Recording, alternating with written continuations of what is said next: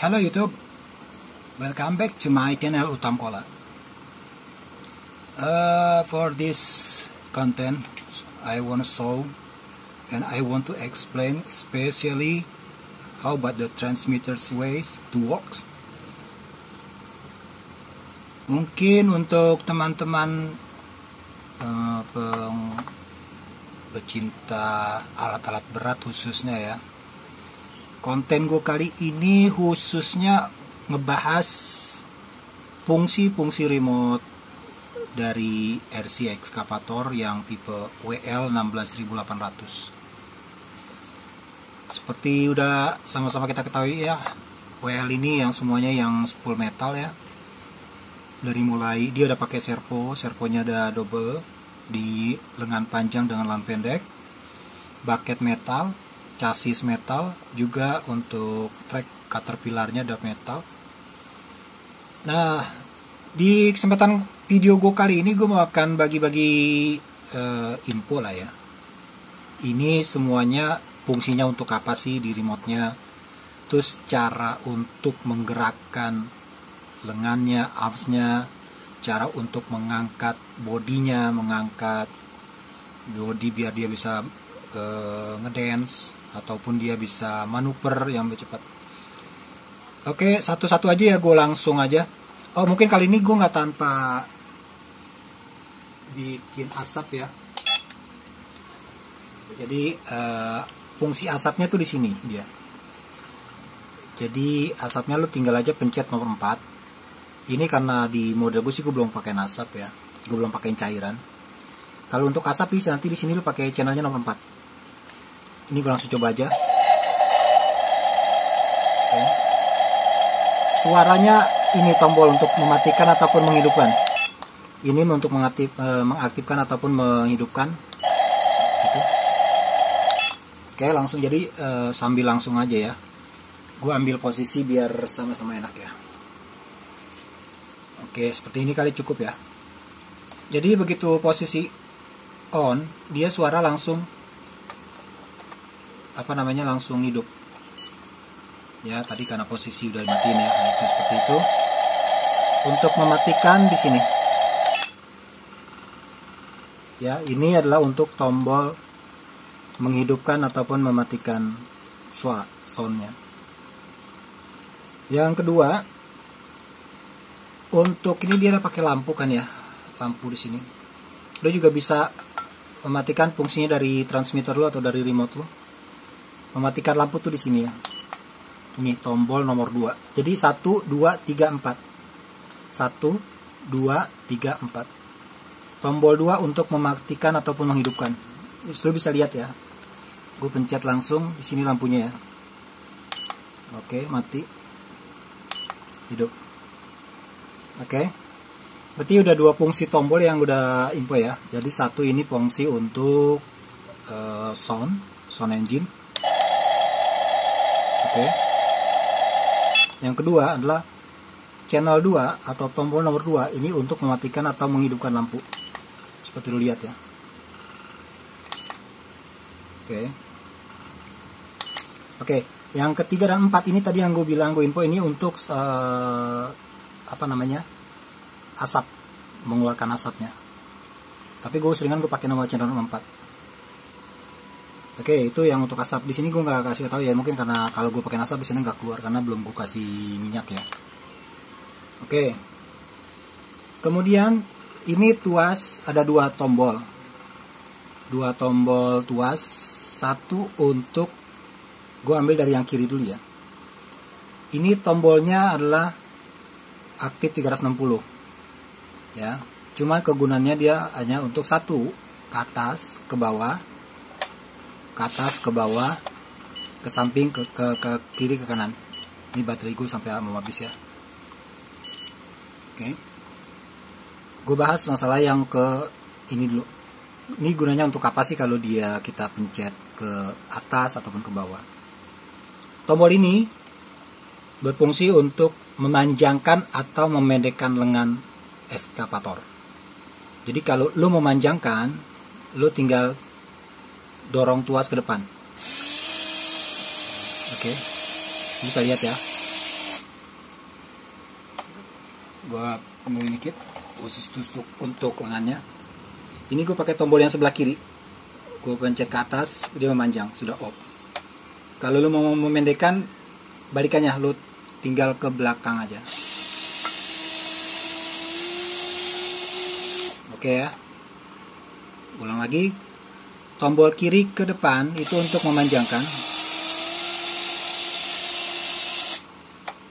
Tombol yang sebelah kiri untuk lo ke dalam ke bawah, bawah maksud gua itu untuk memendekkan. Oke ya.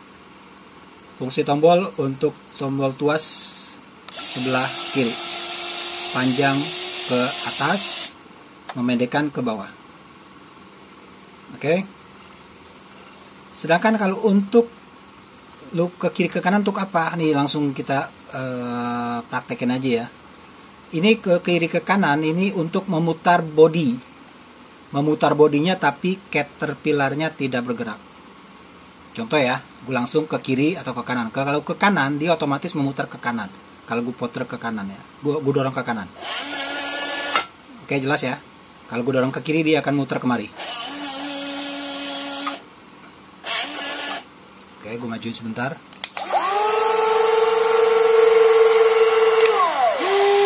Saya dipendekin dulu biar ketahuan. Oke. Ulang ya untuk tombol tadi memanjangkan lengan ataupun memendekkan lengan ke ke depan ke atau ke bawah. Kalau untuk ke kiri ke kanan itu untuk memutar body. Ya segini ya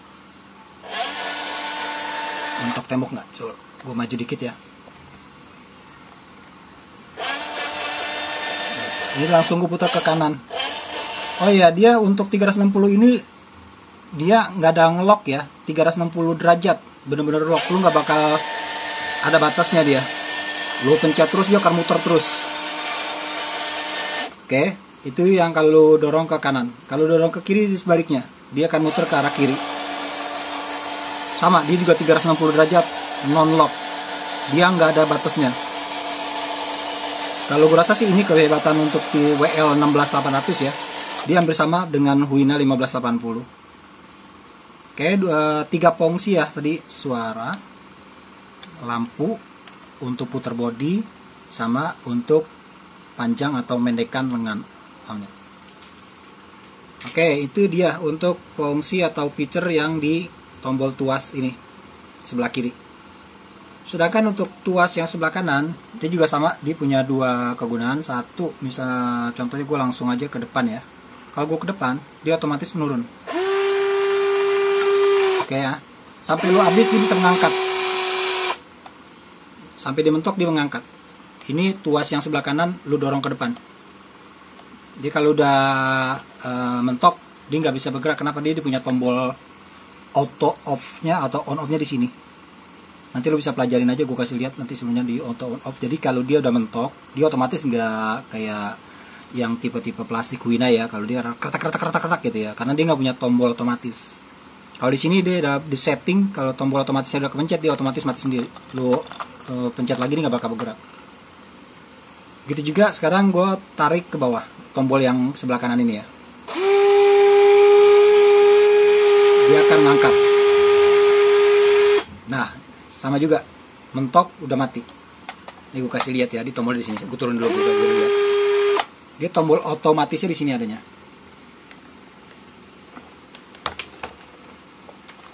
Ini yang tadi yang gue bilang ya.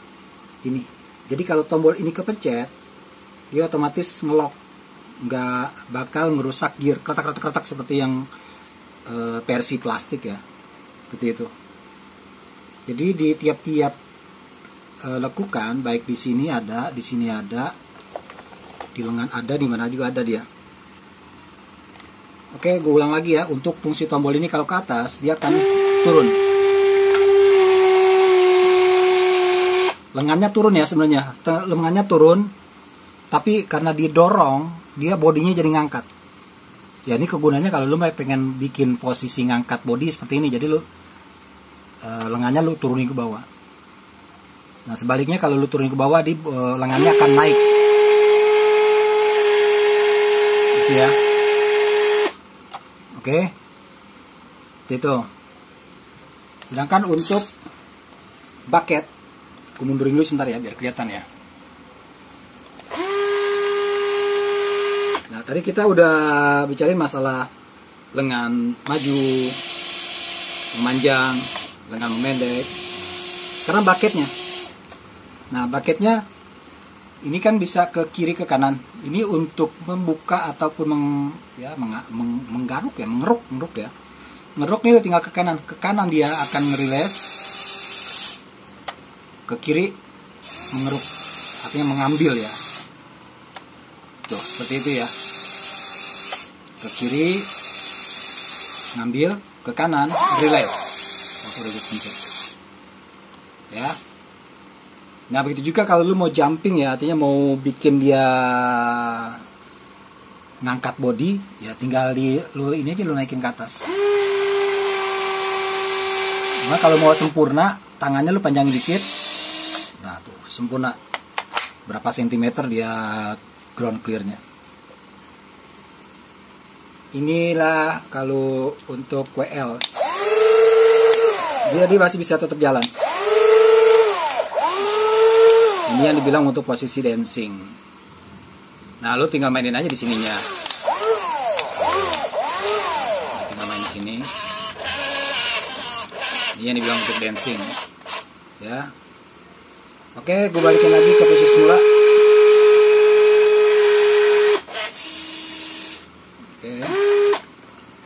Gue balikin posisi semula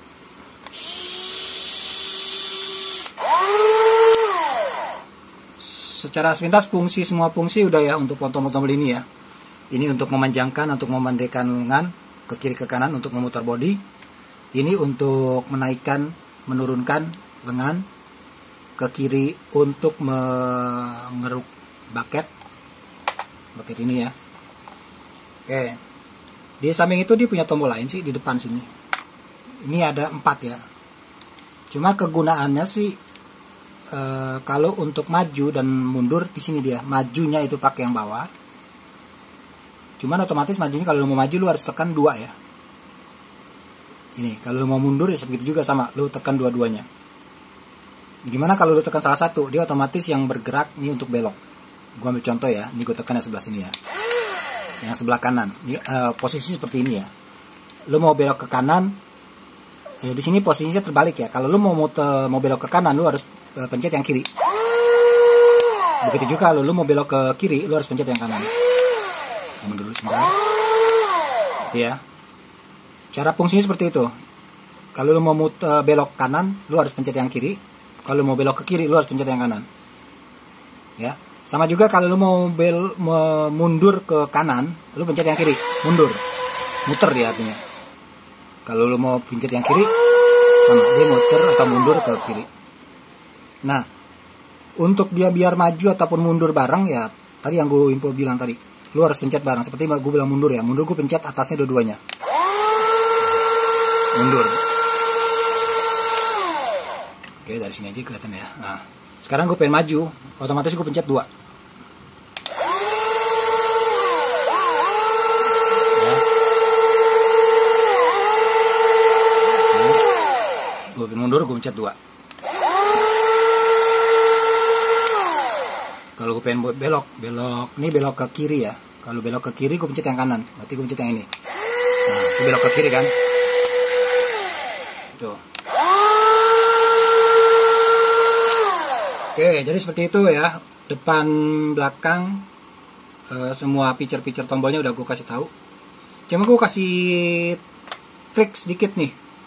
Khususnya buat tadi untuk berbelok ya berbelok kalau gue ambil posisi seperti ini ya. Kalau berbelok gue mau belok ke kiri gue harus pencet yang kanan.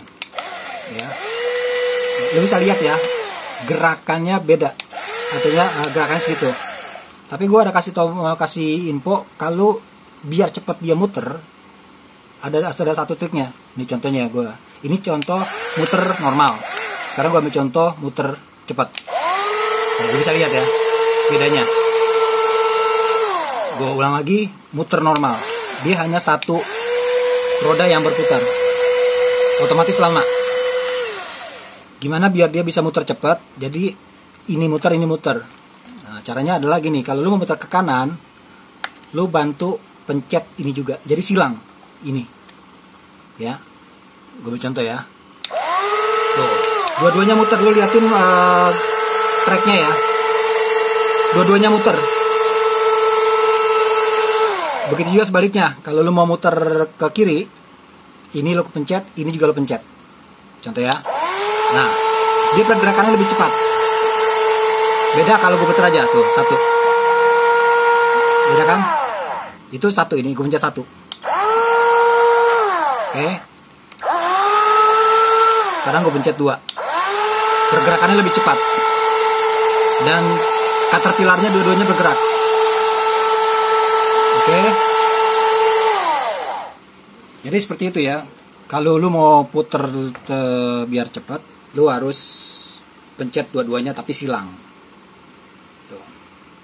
nah sekarang gimana sih kalau bikin atraksi e, lengannya diam tapi caterpillarnya bergerak?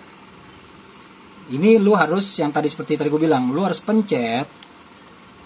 Ini ya majunya satu atasnya lu pencet. Silang ya. Tapi berbarengan dengan itu lu harus pencet tombol yang ini. Lu mau muter ke kiri atau ke kanan? Gue ambil contoh ya. Seperti ini maksud gue ya. Ya seperti itu ya. Yang muter nih caterpillarnya aja. Bodinya nggak muter ya. Ya jadi ini posisi tangan gue ini gue pencet satu ini pencet satu. Ini juga gue pencet ke kiri atau ke kanan suaranya gue matiin ya suaranya gue matiin ya. Ulang ya. Mudah-mudahan bisa dimengerti ya.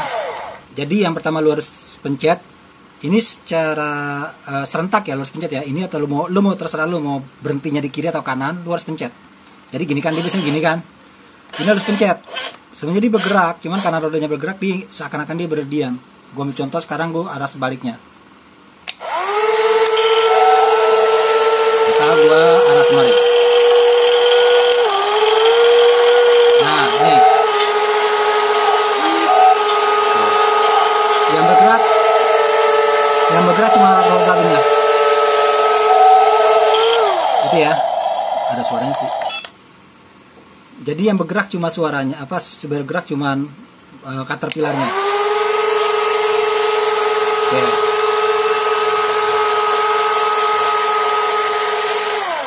Gitu ya caranya ya. Jadi lo pencet nyilang ditambah dengan ini yang tadi untuk memutar bodinya lo. Itu harus putar. Kalau lo nggak putar otomatis dia muter ngikutin body. Ya kan?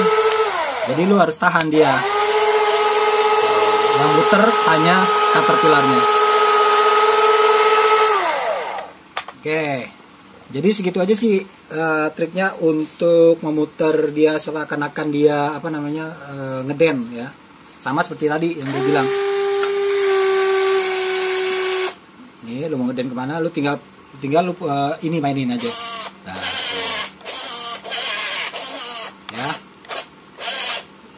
Jadi selain kegunaannya untuk walking bekerja ekskavator untuk yang tipe yang ini ya sama Lihuina 1580 itu itu bisa ngedance ataupun bisa puter uh, caterpillar kalau untuk yang seri-seri Huina 1550, 1350 ataupun Huina yang di, yang masih plastik lah ya, terutama yang caterpillarnya itu nggak bisa. Lo jalanin fungsi seperti yang tadi. Yang bisa menurut gue sih karena gue udah coba yang double E terus yang Huina 15, 50, 50 apa tuh uh, tuh nggak bisa dia muter seperti jogging ataupun dancing itu. Nah, jadi sekian informasi gue mudah-mudahan berguna gimana sih cara mengoperasikan WL 16800 cara memakai di uh, transmitternya atau remote-nya ya. Gue rasa mungkin gue karena gue belum ada ya untuk 1580 gue rasa hampir sama seperti itu aja sih yang penting lo tahu di mana untuk manjang pendekan uh, lengan ataupun muter ini. Oke. Mudah-mudahan konten gue kali ini bisa berguna bagi yang emang ada lagi hunting-hunting untuk WL 16800 tapi ya mungkin untuk saat ini ya untuk saat ini barangnya memang rada susah walaupun ada kayaknya hampir seharga 1580 67 jutaan sekarang yang terakhir gue lihat di online. Kalau masih ada yang upload-upload harga 3-4 juta itu kayaknya stok lama ataupun artinya nggak ada dia belum belum update ya. Jadi itu aja sih. Mungkin lu nunggu barang lama barangnya ada aja ya baru harganya mungkin bisa normal lagi. Oke demikian konten gue kali ini. Mudah-mudahan bisa membantu ya mungkin agak sedikit lama ya. Mungkin jangan di skip ya biar uh, lu bisa nggak apa biar nggak agak paham biar tahu fungsi detail dari WL 16800 metal excavator Terima kasih. Wassalamualaikum warahmatullahi wabarakatuh.